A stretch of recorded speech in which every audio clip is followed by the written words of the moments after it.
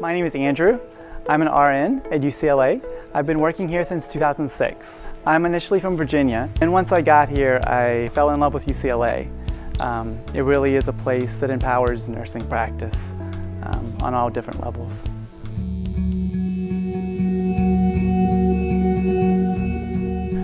I work on 8 North in Ronald Reagan. I take care of liver transplant patients who are with us for long periods of time. Um, the rewarding thing I find about caring for this patient population is it's an opportunity to really make a difference in their lives. Um, you can form relationships with them and as well as their families who I take just as much responsibility as I do caring for the patient themselves. Making that connection with the patient, forming those bonds with the patient and their family, getting to know them on all different levels.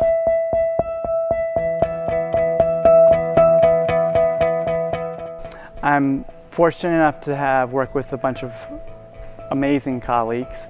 Um, there really is an atmosphere of teamwork, not just on my unit, but within UCLA as a whole.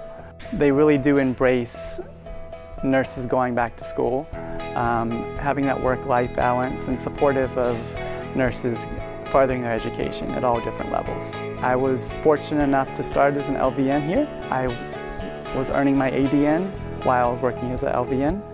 I've since earned my BSN and I just started working on my master's.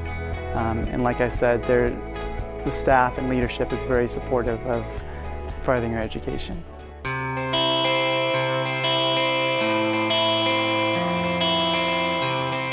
UCLA does an outstanding job of recognizing what, it, what nurses do day in and day out. Um, I myself am a recipient of the DAISY Award, which I received for a patient that I cared for for about six months. And I had the opportunity to build a relationship with her and really care for her even when I wasn't assigned to take care of her. We as nurses really do have the opportunity to transform the patient experience here. So I'm fortunate to be where I'm at today and I can honestly say I have never regretted a moment since I entered the field. It begins with you.